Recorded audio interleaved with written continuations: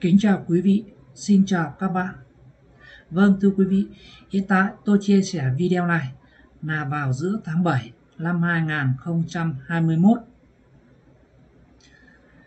Hiện nay với bất kỳ ai có kết nối Internet, sử dụng máy tính hoặc điện thoại thông minh smartphone với một số vốn khởi đầu nhỏ, quý vị cũng có thể tham gia giao dịch mua bán crypto. Tuy nhiên, hãy thận trọng với những sai lầm hay gặp phải khi đầu tư. Thì ở video này, tôi sẽ tổng hợp 14 điều rủi ro có thể sẽ gặp phải khi lần đầu quý vị tham gia vào thị trường tài chính crypto. Nếu quý vị là những trader lâu năm đã có kinh nghiệm thì coi như ôn lại những kiến thức mà quý vị đã trải qua. Còn quý vị là những người mới thì quý vị nên xem lại nhiều lần.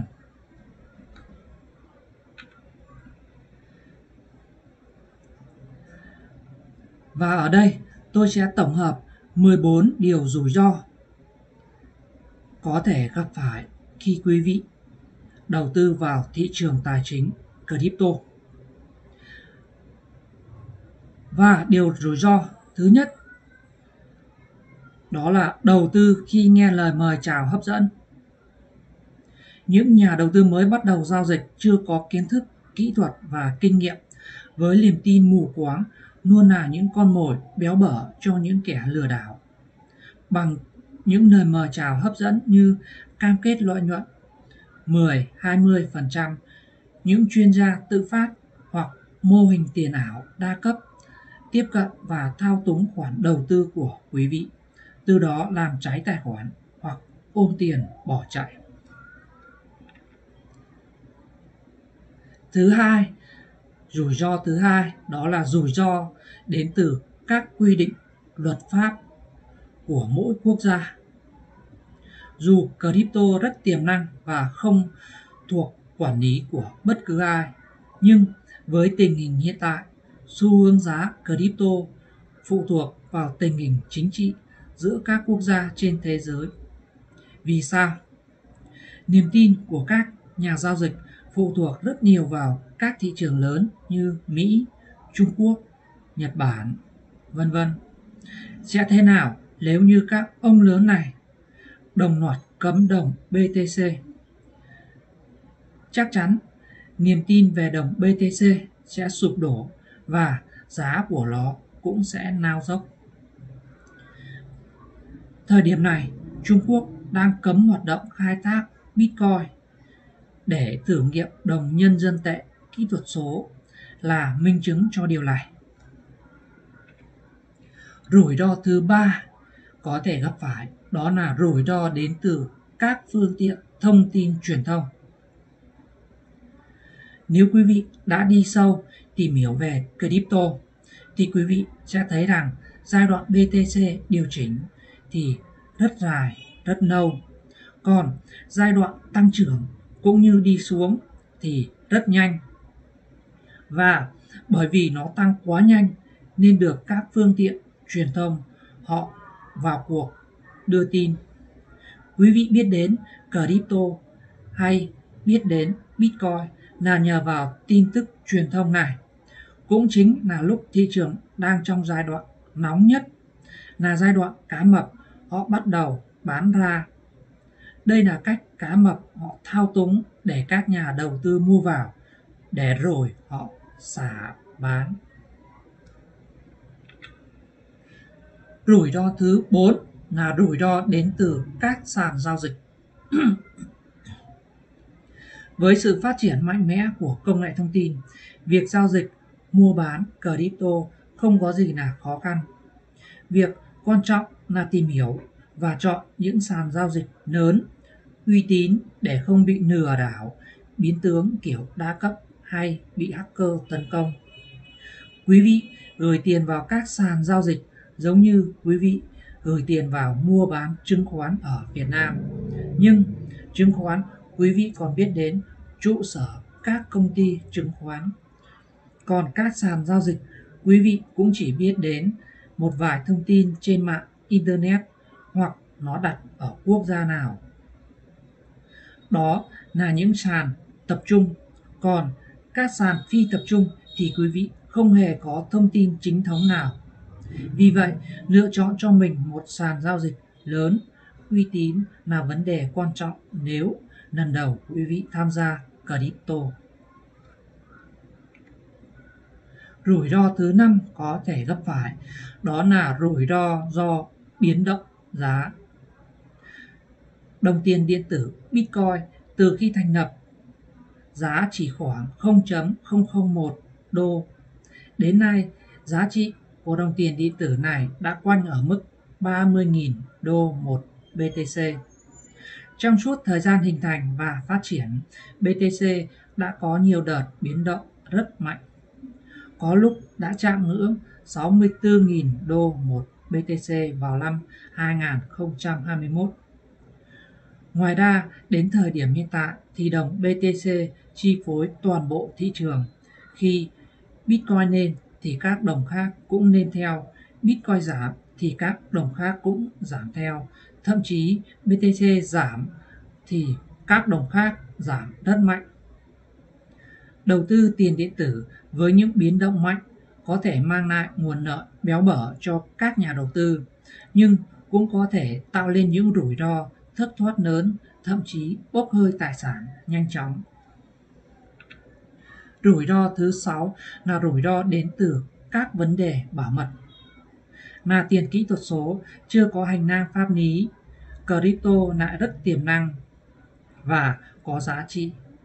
Với ba lý do này, đủ để tiền điện tử trở thành miếng mồi ngon cho các tội phạm, hacker họ nhắm vào.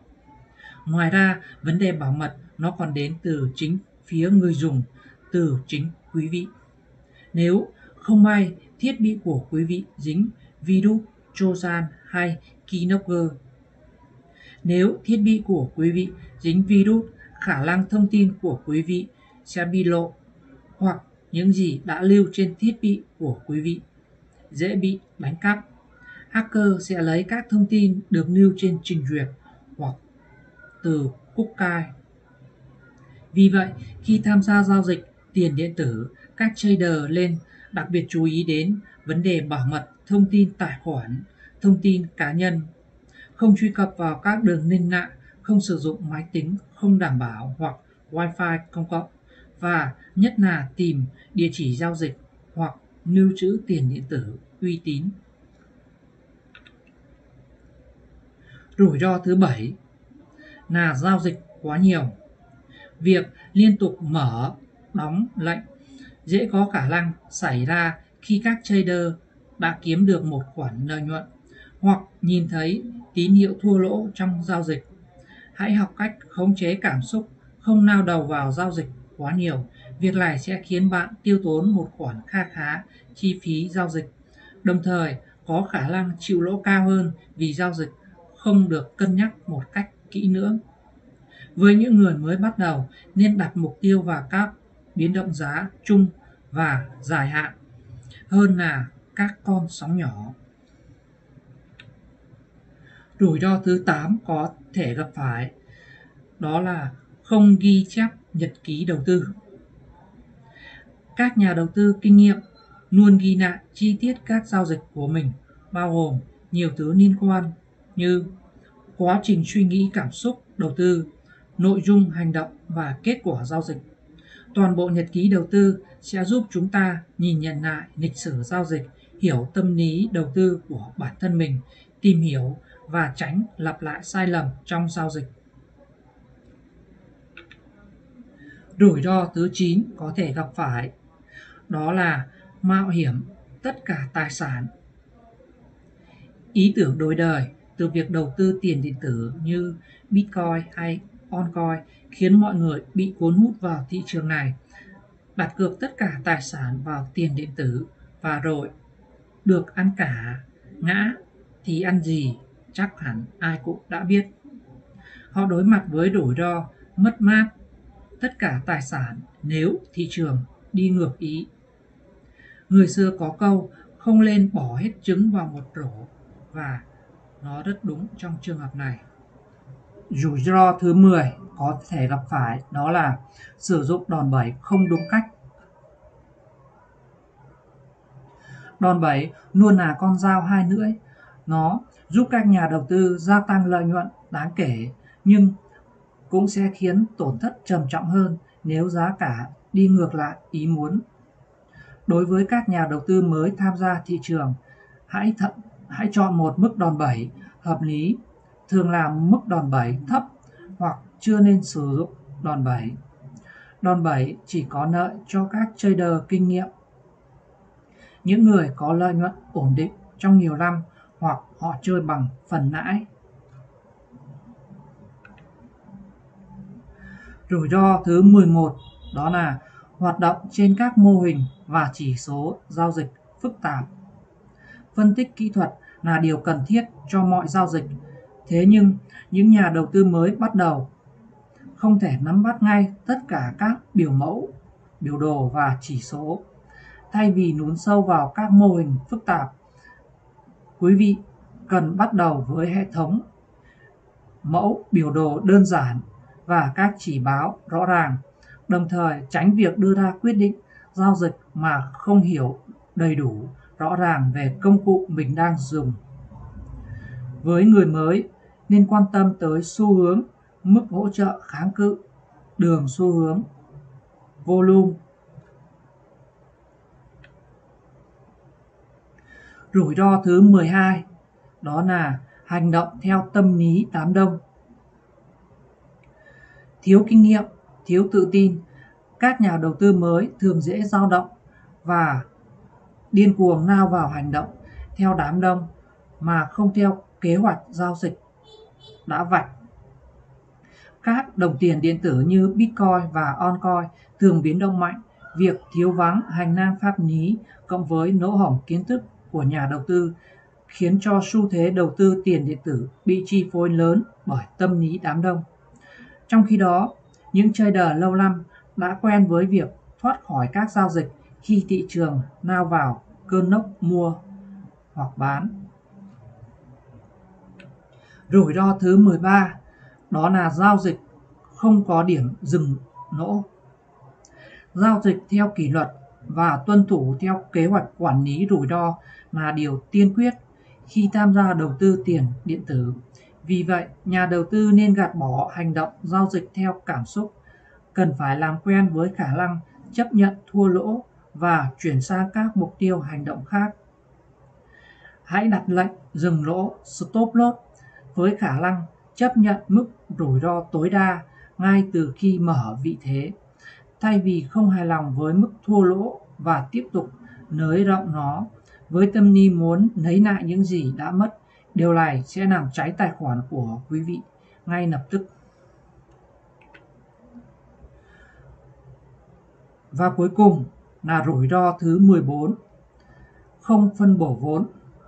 Một nhà đầu tư chuyên nghiệp sẽ duy trì một danh mục đầu tư đa dạng với tỷ lệ phân bổ tài sản theo một mục tiêu nhất định. Điều đó giúp danh mục đầu tư được cân bằng. Đôi khi việc này sẽ rất khó khăn nhưng nó là vấn đề sống còn khi quý vị tham gia mua bán crypto. Phân bổ vốn từ việc cân đối danh mục đầu tư cho đến việc chọn danh sách các token mà quý vị muốn tham gia đầu tư. Phân bổ từ tài khoản chơi hay tài khoản hold, rồi đến việc chia tài khoản ra vào bao nhiêu lệnh cho một token mà bạn muốn đầu tư. Vâng, thì trên đây là những rủi ro gặp phải khi quý vị mới tham gia thị trường crypto. Nếu quý vị là những người mới tham gia, thì quý vị nên nghe đi nghe lại và tìm hiểu cho thật kỹ trước khi chơi crypto. Còn quý vị là những trader lâu năm, chuyên nghiệp, thì coi như quý vị ôn lại những kiến thức mà quý vị đã biết. Có thể nói chơi crypto đầy rủi ro và cám dỗ đến từ mọi phía. Và trong cuộc sống hàng ngày của quý vị cũng vậy, bất cứ điều gì nó đều có hai mặt.